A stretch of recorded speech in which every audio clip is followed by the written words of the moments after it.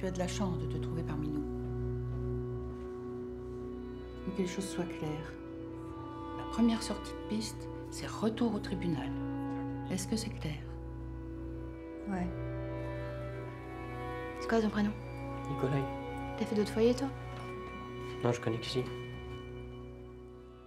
Le cœur noir des forêts, c'est euh, c'est un film où on peut se plonger vraiment euh, sur euh, un couple de personnages euh, qui vont ensemble en fait euh, sortir de leur foyer, essayer de fonder une famille qu'ils n'ont pas pu avoir euh, et trouver euh, l'amour à leur façon. Je vous conseille d'aller le voir parce que oui, une bande son incroyable, des images aussi super.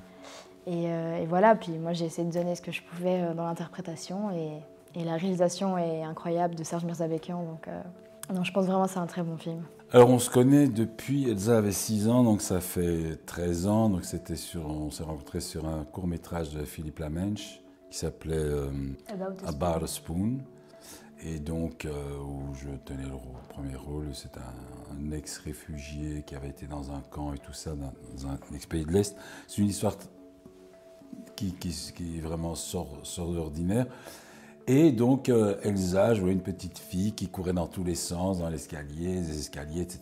Et puis avec une autre bande de gosses euh, qui avait un rôle assez intéressant au final sur le, sur le film. Et donc, euh, voilà, j'ai eu directement un coup de cœur pour elle. Et puis après, on, on s'est un petit peu plus perdu de vue euh, jusqu'à ce qu'elle que- que- voilà, joue dans Clem et tout ça. Puis on s'est revus il y a trois ans, quatre ans. 4 ans maintenant, je pense. Ouais, et puis, euh, et puis depuis lors, oui, je, je- je la suis. Et puis maintenant, on est voisins, donc euh, ce qui nous permet de, travailler ensemble de temps en temps. On s'entend bien en fait euh, en tant que personne, euh, même professionnellement, enfin en fait sur tous les plans. Mais voilà, moi je, le vois comme mon mentor, mais à la fois comme mon, comme mon ami, et puis euh, comme un papa de cinéma. Donc enfin vraiment, il y a, y a plein d'étiquettes que je pourrais les mettre dessus. Et ouais, je pense qu'on bosse bien ensemble, donc c'est cool d'avoir quelqu'un en fait qui peut nous aider pour répéter une scène ou même juste parler en fait de, de notre métier, parce que ben, pour mieux comprendre le, enfin il n'y a qu'un acteur pour comprendre le métier d'acteur, vraiment. Donc euh, voilà. Ce qui, est- ce qui évidemment explique aussi que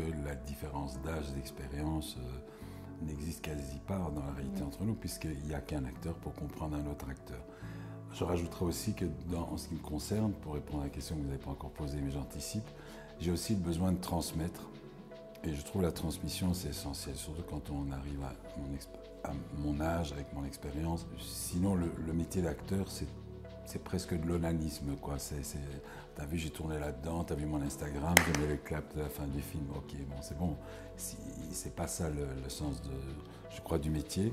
Et pour moi, c'est essentiel de transmettre. En toute humilité, bon, j'essaye d'apporter un petit peu mon écho à la carrière d'Elsa comme je peux.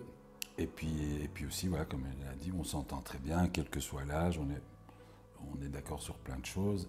On a toujours le plaisir à partager ces moments ensemble.